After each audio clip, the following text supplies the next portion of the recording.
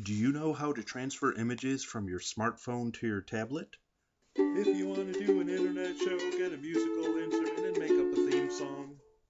Which leads us to episode 2 Persona.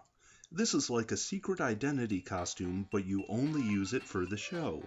There are many reasons you don't just be yourself. Wouldn't it be fun to have a stranger recognize you on the street?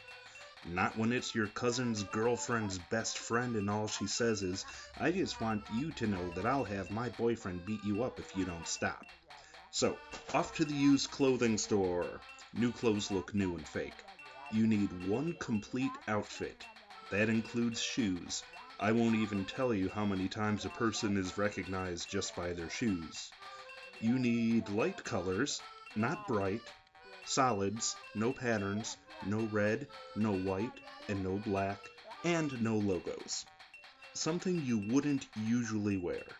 And while you're out there, get a few meaningless props for continuity, and two or three yards of fabric for a backdrop.